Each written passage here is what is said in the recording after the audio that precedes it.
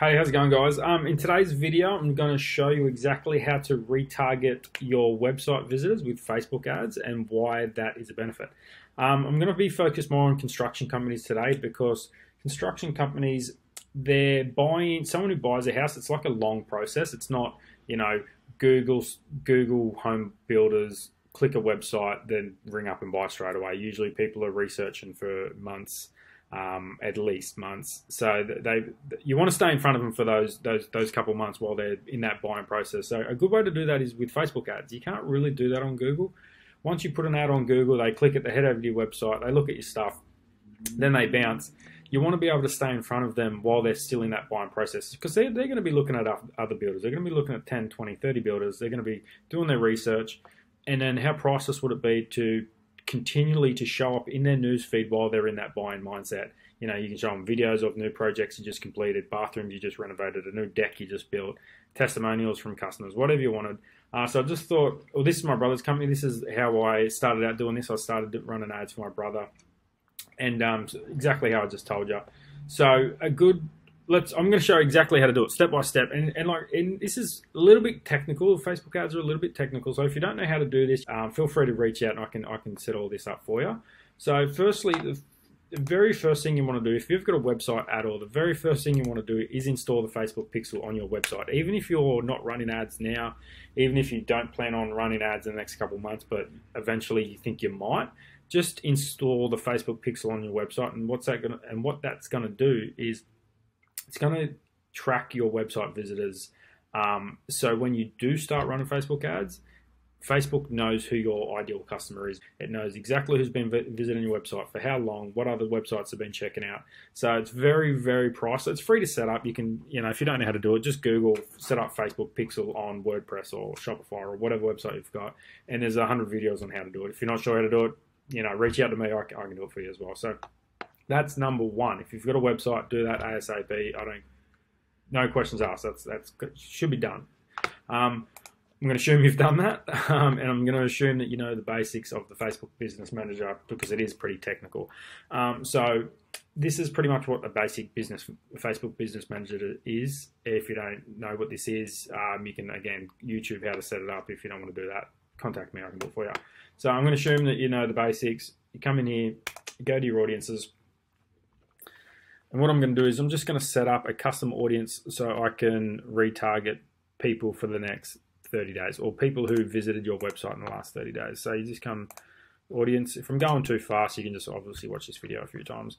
You need to pick the pixel, which is that thing I just told you about. Um, if you're not sure if it is installed on your website or not, Google the Facebook Pixel Helper on the Chrome extensions, um, and if it's installed, it will come up like that. If it's not installed, it'll, it'll tell you it's not installed. So come over here, pick your pixel. Webs all website visitors is probably what you're going to want to stick with to start off with, unless you know what the events are and you have those events set up. But if not, stick with all website visitors. 30 days, you could go 30 days, 60 days. You can go all the way back to 180 days with um, custom audiences. But to start with, just go to 30 days. Um, uh, another good thing you can do with Facebook ads is you can set seven days, 14 days, 30 days. So people within seven days of visiting your website can see a certain bunch of ads. Then from day 8 to 14, they can see, see a different bunch of ads. And then day 31 to 60, they can see a whole different bunch of ads. So you can put them through um, a sequence of different ads. So they're not seeing the same ad over and over again for 90 days. You can show them a whole bunch of different ads. So really, really cool. Um, so we'll just set this up very basically. I just like to name it something that's easy visits, and then I usually do the day. What's the day? 24th.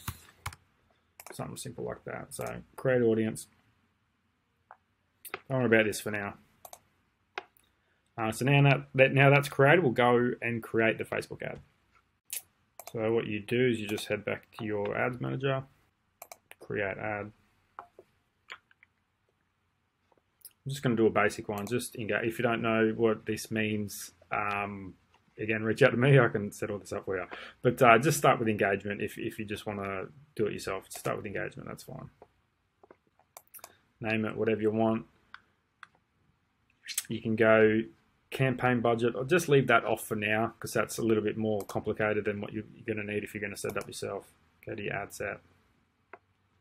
pick your budget, whatever your daily budget you want to be. I recommend starting at minimum 10 bucks a day. You don't want to be any anything less than that. Custom audience. This is where you pick that custom audience we just created. So 30 days, um, 28, 24th of the 6th. So that just lets tells Facebook to show people who visited my website in the last 30 days this ad. Uh, make sure this is off. Some sometimes that's on. Um, just turn it off because just turn it off. Um, for now, leave, if you're going to do it yourself, leave all this as is because you know just just leave it. Go next, create the ad. You can either so this is my brother's. I've been running um, these ads for my brother, as I said before. You can uh, either select a video, so he does a lot of bathrooms and stuff. So you can either select a, a post that's already on your wall, and you can run that as an ad, or you can create a brand new post from scratch, and you can put buttons and and, and all sorts of stuff on it. Uh, you also got to make sure your domain, which I probably should have mentioned at the start.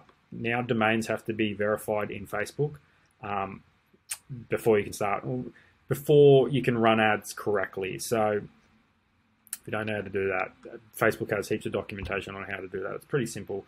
If you don't want to do, you don't want to deal with all that, just let me know and I can do it for you. Um, so yeah, once you've selected your ad, you've got the events. Make sure that's selected and, and your pixels working.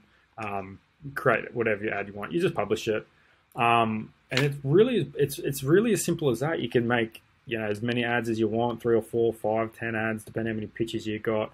You can spread it up over a couple of days. So this is very simple but very effective.